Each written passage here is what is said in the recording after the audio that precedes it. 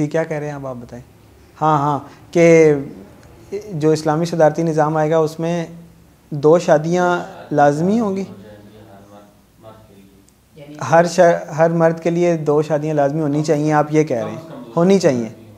नहीं वो हुकूमत जो होगी वो ये ऐलान कर देगी कि दो शादियाँ जो हैं वो हर मर्द पर लाजमी ये तो आप लोग एज्यूम कर रहे हैं कि जो प्रेसिडेंशियल सिस्टम आएगा खिलाफत का निज़ाम आएगा, वो दो शादियाँ लाजिम करार दे देंगे। तो वो तो जिसकी जो ख्वाहिश है तो वो अपनी ख्वाहिश के मुताबिक ज्यूम कर रहे हैं। तो दो शादियाँ क्यों वो लाजिम कर देगा? चार क्यों नहीं करेंगे? असल में इस तरह नहीं है। लाजिम ना वो दो करेंगे, ना वो चार करेंगे। हाँ ये ज़रूर है कि एक से ज़्यादा शादियों को प्रमोट ज़रूर करेंगे अप्रिशिएट ज़रूर करेंगे। और ये जो पाकिस्तान में उल्टे कानून बनते रहते हैं कि जी, पहली बीवी की इजाज़त की ज़रूरत है, दूसरी शादी के लिए वो कानून बना हुआ है तो हालाँकि इम्प्लीमेंट होता नहीं है वो, कर रहे हैं लोग फिर भी। जैसे बाकी चीज़ें नहीं इम्प्लीमेंट हो रही, इस तरह ये भी नहीं हो रहा। है एनी तो अब ये कवानीन नहीं इस तरह के बना दिए कि यार बस कुछ ना कुछ ड्रा के रखो, लोगों को वो कहीं शरीयत के ऊपर सही तरीके से चल ना लें। तो वो उस दौर में ग्रीजिंग होगी। माहौल ऐसा होगा कि जैसे आज के दौर में इम्प्लीमेंट करना ऐसे है, दिन के ऊपर अमल करना कि जैसे हाथ में अंगारा पकड़ने के बराबर है। आप सूद से बचने की कोशिश करें तो आपको लोग लाख समझाएँगे कि भाई ये फ़लाँ बैंक में रख दो, इतने परसेंट मिल जाएगा। और तुम किस दकियानुसी दौर में रह रहे हो? हर बंदे ने गाड़ी रखी हुई है। तुमने क्यों मोटरसाइकिल रखा हुआ है? जाओ, तुम्हारी सैलरी इतनी है, बैंक से लीज़ पे ले लो गाड़ी, तुम भी गाड़ी चला सकते हो। हर तरह से आपको, अगर आप दीन पे चलने की कोशिश करेंगे आज के दौर में ऐसे है कि जैसे ये हदीस में भी आता है कि जैसे हाथ में अंगारा पकड़ने के बराबर, लेकिन उस दौर में ऐसे होगा कि ग्रीज होगा। आसान होगा मामला, क्योंकि हकूमती सपोर्ट मौजूद होगी। और ये जो कवानीन है ना, ये तो कवानीन वैसे ही एबॉलिश हो जाएँगे सारे के जी। और जो खलीफा वक्त होगा, वो एक से ज़्यादा शादियाँ करेगा, करके दिखाएगा और लोगों को अप्रिशिएट करेगा। और जो ज़िम्मेदारान होंगे जिन लोगों को भी ज़िम्मेदारियाँ अहदे दिए जाएँगे, ऐसे लोग चुने जाएँगे कि जिनके जिन, जो इन क्राइटेरिया पे पूरे उतरते हों, जिसकी इतनी हिम्मत ना हो कि वो दूसरी शादी कर सके, अपनी बीवी से इतना डरता हो, उसने क्या खिलाफत चलानी है, उसने क्या अदालत का निज़ाम चलाना है?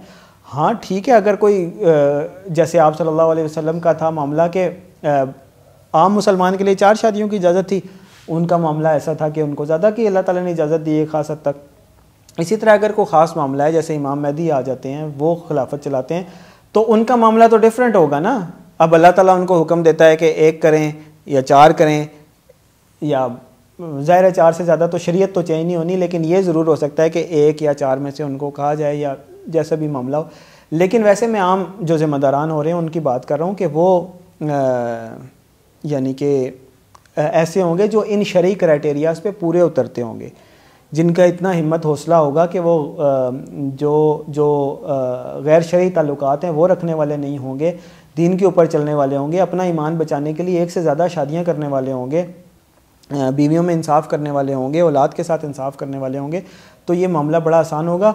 और वो चलते चलते कमेंट हो जाए कि ये जो आ, है ये जो हमारा रूल बना हुआ है कानून देखें इस्लाम का मुसलमा असूल है कि ला तातुलमखलूक की फ़ी मासीत खालिक।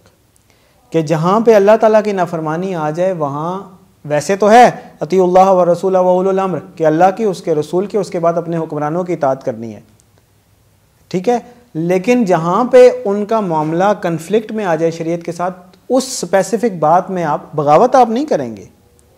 ये इस्लाम में साबा के अमल में आप वसल्लम के दौर में किसी भी गवर्नमेंट के ख़िलाफ़ बगावत की कोई शरी हैसियत मौजूद नहीं है और ये बिल्कुल करने वाला खारजी होता है और खारजी क्या है? हुआ किलाब उन्नार कि आप वसल्लम ने फरमाया कि वो तो जहन्नुम के कुत्ते होते हैं ऐसे लोग के जो हुकूमतों के ख़िलाफ़ यानी कि जो खारजियों के स्टैंडर्ड हैं हुकूमतों के ख़िलाफ़ बगावत करने वाले लोग। एनी तो आ, ये जो मामला है ना इसमें आज के दौर में भी लोगों को शादियाँ करनी चाहिए एक से ज़्यादा, और ये जो रूल है, ये बिल्कुल गैर शरी है। इस्लाम में ऐसी कोई चीज़ नहीं है कि पहली बीवी से इजाज़त लें, फिर दूसरी शादी करें। बेसिकली जो बीवी होती है ना, अर्रजाल कवामून आलनसा मर्द को अल्लाह ताला ने एक अहमियत दी है, एक लीडरशिप दी है, और उसके ऊपर ज़िम्मेदारी भी लगाई है कि वो मामला चलाए, वो नान नफ़का पूरा करे। अब जो बीवी है, वो क्या है? वो दरअसल एक मेहमान है, जिसको आप एक्सेप्ट करते हैं एज आ फैमिली मेंबर अपने घर में। गैर होती है ना? शादी तो आप कर ही नहीं सकते महरम रिश्तों से, घर के लोगों से तो शादी हो ही नहीं सकती। एक मेहमान से होती है जो दूसरे घर की होगी। एक मेहमान आप अपने घर में लाते हैं।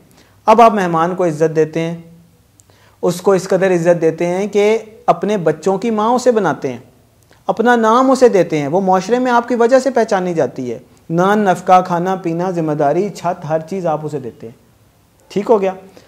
अब वो मेहमान इतना शेयर हो जाए कि वो कहे कि भाई ये सारा घर ही मेरा है और तुम भी मेरे हो, अब तुम्हें कोई इख्तियार नहीं है कि तुम किसी और मेहमान को ला सको। तो ये बात जायज़ होगी या नाजायज़ होगी, आप खुद बता दें। यही मामला आज के दौर में शादियों का भी हो रहा है कि बीवी आप लेकर आते हैं, वो ऐसे बराजमान होकर बैठ जाती है कि आपको आपके हकूक भी नहीं दे रही होती, आपका हक है।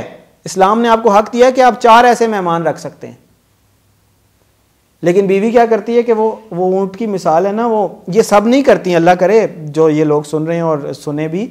मैं सिर्फ़ उनकी बात कर रहा हूँ जो ऐसे करती हैं, जो अपने शोरों को दूसरी एक से ज़्यादा शादियाँ करने से रोकती हैं। वो बिल्कुल गलत करती हैं और उनके, उनकी मैं मिसाल ये दे रहा हूँ कि वो ऐसी है कि जैसे वो सहरा में एक बद्दू था, सफ़र करते हुए जा रहा था तो रात में सख्त सर्दी थी। तो उसके साथ ऊँट था, उसने सफ़र किया, ऊँट ने वो खेमा, सामान सब कुछ था तो अब रात हो गई। तो अब उसने क्या किया कि वो खेमा उतारा और खेमा लगाया और बद्दू उसमें सो गया, ऊँट को बाहर बाँध दिया। तो जब थोड़ी रात हुई तो ऊँट को लगने लगी सर्दी। तो ऊँट ने ना खेमे के अंदर सर घुसाया। तो अब बद्दू ने सोचा कि चलो मेरा वो मेरा मेहमान ही सही, मेरा मेरा सफ़र का साथी ही सही, चलो इसको सर थोड़ा अंदर घुसाने तो थोड़ा सर इसका भी गर्म हो जाए। तो कोई बात नहीं। अब बद्दू सोया रहा थोड़ी देर के बाद ऊँट ने देखा कि मज़ा तो बड़ा आ रहा है तो ऊँट ने जो है ना गर्दन भी थोड़ी अंदर कर ली। अब ऊँट ने गर्दन अंदर कर ली तो बद्दू ने कहा कि चलो खैर है, कोई नहीं, इसको गर्दन भी घुसाने दो, कोई बात नहीं, मेरी तो जगह है। वो ऊँट को इतना मज़ा आया कि उसके बाद ऊँट ने ना लात मारी बद्दू को और बाहर और ख़ुद पूरा अंदर घुस गया खेमे में। तो यही मामला ऐसा भी है कि आप के साथ ये अल्लाह ताला ने आपको इज़्ज़त दी है मर्द के ज़रिए। मर्द आपको नाम देता है, आपको मुकाम देता है, आपका नान नफका देता है, कम हो ज़्यादा हो। जो अल्लाह ताला ने रिस्क उसको दिया है, वो आपके साथ शेयर करता है। ये तो नहीं ना करते मर्द के भाई वो खुद खा पी रहे हो, मज़े कर रहे हैं और बीवी को नहीं, जो अल्लाह ताला ने उसमें दिया है, वो उसमें से आपका देता है, मुनासिब देता है।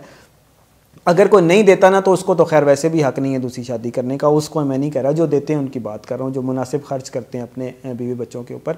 तो आप वो ऊँट ना बने के जो खेमे का मालिक है, जिसका घर है, उसी को घर से, यानी सारे के उसके ऊपर ही कब्ज़ा कर लें, बल्कि उसको उसका हक दें। जैसे अल्लाह ने आपको इज़्ज़त दी है, आपके शोहर के ज़रिए से आपको नाम दिया है, औलाद दी है, रिज्क दिया है या अगर नहीं भी दी तो बाज़ की औलाद नहीं भी होती, इस वजह से भी करना चाहते हैं दूसरी शादी। लेकिन अगर दी है तब भी तो आप ऊँट की तरह उसके पूरे खेमे पे कब्ज़ा ना करें।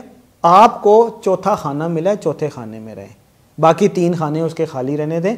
वो इंसाफ नहीं करेगा तो अल्लाह ताला उसको पूछेगा। और अगर आप बदगुमानी करेंगी तो फिर अल्लाह ना करे कि फिर वो हो भी सकता है। आप खुशगुमानी करें, ताउन करें, ताकि वो भी इस काबिल हो कि एक से ज़्यादा जब शादियाँ करें तो उनके दरमियान इंसाफ भी कर सकें।